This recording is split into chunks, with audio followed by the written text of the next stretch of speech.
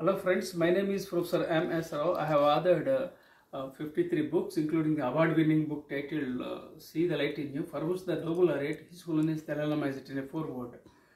And uh, I have 43 years of diversified experience including Indian Air Force business, teaching and training. In the short video I talk about uh, briefly uh, about mindfulness, money and storytelling and you have to emphasize uh, mindfulness.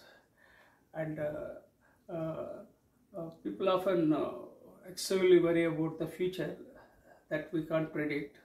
Uh, people waste 30% of their precious time by thinking about their unpleasant past. It will never come back. So learn to live in the pres- present.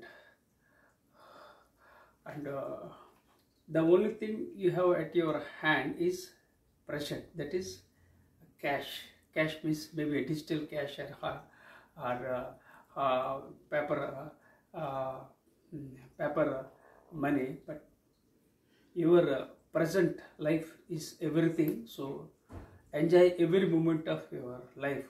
Life is beautiful life is amazing life is creative life is a miracle life is full of uh, possibilities. And second thing focus on money. You have to focus on uh, money. Without money we can't survive. But at the same time money is not everything.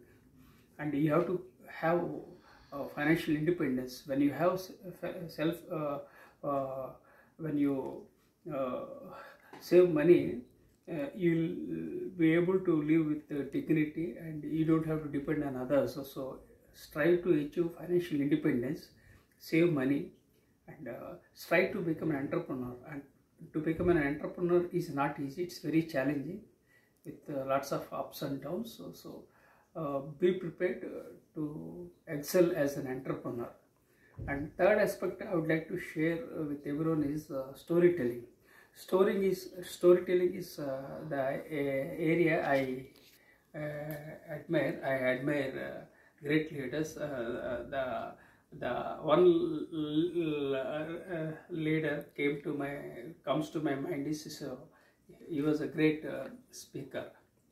And uh, uh, I also published uh, books on various things, especially on business communication and on secrets to successful public speaking. So the basic premise of this secrets to successful public speaking is tell them what you are going to tell them, then just tell them, and at the end tell them what you have told. This is the basic premise of uh, storytelling and public spelling, uh, public speaking. And uh, let me share with you my challenge. I was blessed to be alive after brain stroke in the year of 2021. I survived because of my positive psychology. And uh, the message I would like to share with everyone is that uh, create stories and sh- uh, share stories to impact humankind. Who knows if one of the stories impact uh, the world that serves the purpose. And people often uh, uh, crave for attention everywhere and people run behind the celebrities. Uh, so it's it's uh, focusing too much on celebrities. Focus on unsung heroes, and uh, and thank you for subscribing to my YouTube channel.